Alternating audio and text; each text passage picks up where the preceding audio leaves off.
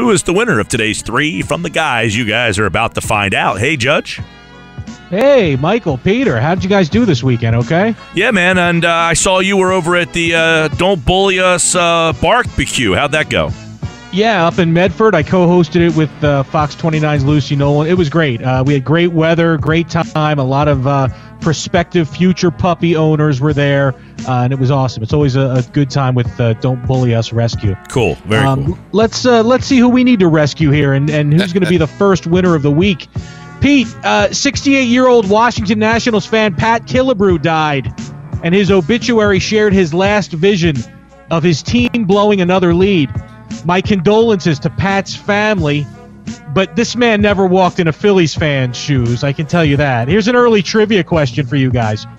Which professional franchise in any sport across the entire universe for all of recorded history has lost more contests than any other? That's right. Uh. It's your Philadelphia Phillies, nearly 11,000 losses. That is spectacular futility for over a century on a regular basis. Oh, oh, but but but, but oh, oh, oh, but stop the presses because Pat's team blew another lead. Look, I admire Pat's loyalty and I hope he rests in peace, but he's bitching up the wrong tree in these parts. Michael, MMA fighter Justine Kish, Kish, uh, real men don't eat quiche, by the way. Very good. uh, decided to take a nature break during her fight against Felice Herrig. Uh, it's got to be embarrassing. Hey, you poop your pants when you're alone in your house, and it's embarrassing. Much less viewed by several million pay-per-view customers across the globe, uh, and also Josh Hennig. You know, she should have told the media, "This is the move. You say that it was intentional, and then you give it a cool name, and you call it. it I did the loose deuce caboose maneuver." Praise praise upon people's natural instinct to run away from feces. Oh man, was that, that was on pay? That wasn't on pay TV though. Right? It was on Fox. Was that on? It was on FS1. Oh, okay. Loose well, you still have to pay for your subscription for cable. Yeah. Hey, you know, there's an old YouTube video of this. I, I don't know if you guys saw it. It's a girl in a hot tub with six other people, and she lets it fly. And then as soon as the water turned brown, all the other people dove out of there like a power line fell in the water. you, you take that into the octagon, and it's gold. That is a gold maneuver. She, she's just spin it differently. The loose deuce caboose. That's right, the loose deuce caboose maneuver. So, uh, PT, Jordan Spieth holed out of a sand bunker on a playoff hole to win the Travelers last weekend.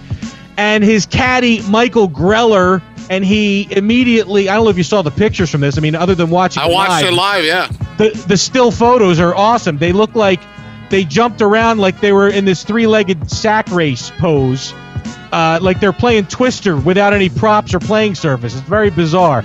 Anyway, Greller is keeping the rake that he used to rake out the bunker as a memento of the event, which is something he likes to do. He takes souvenirs. That's fine. But I, you know, I think that there might have been an awkward moment later when the duo walked back to the parking lot and Spieth was puzzled when he noticed in Greller's truck was a pair of his girlfriend Annie Verret's panties hanging from the rearview mirror.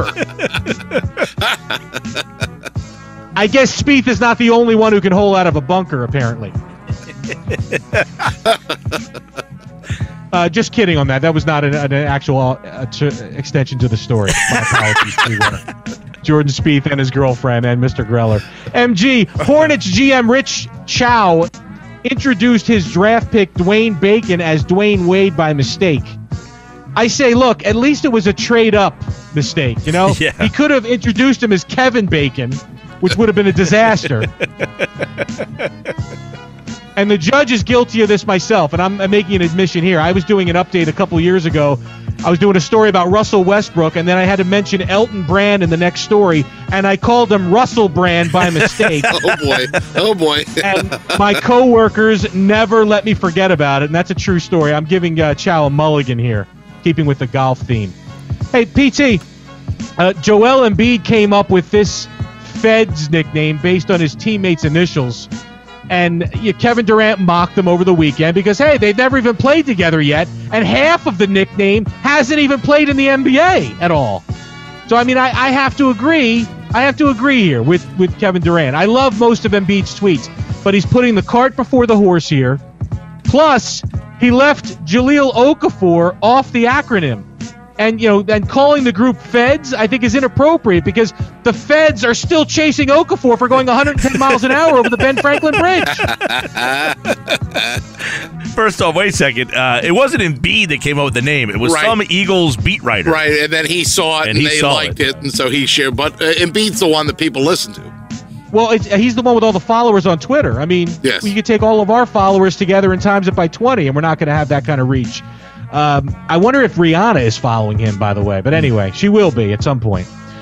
MG, uh, as mentioned earlier, 18 year old flyer Morgan Frost was exposed as a flyer hater in his old tweets. But keeping in this context here, you have to remember these tweets are a few years old. This kid was like 13 years old when he made them. I mean, some NHL prospects have trouble even reading at age 13. so I can't exactly slam him there. Uh, he came out and he admitted that he knows very little about the team and about Philadelphia, and I think he's going to get a clear education soon enough. So as long as he remembers who's paying him as an adult, I can't make a big deal about this. Sheesh. All right, so is that it, guys? We're at the end of three from the guys for the day. Just like that.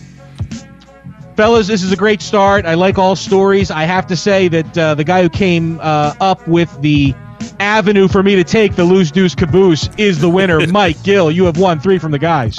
Yes! We have a winner. Congratulations, you are one of life's winners. We'll be right back.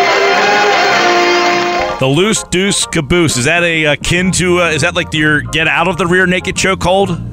I'm uh, I'm going to absolutely claim the tr- the copyright on that before Markelle Fultz says that he came up with it first. Sounds like a crappy move if you ask me. Ooh, that really stinks. Listen, at the end of the day, we all know the truth. Felice Herrig beat the crap out of Dustin Ketch. Literally. All right, that's three for the guys. The judge will be back tomorrow with another edition, but he's got South Jersey Sports Center coming up at the top of the hour.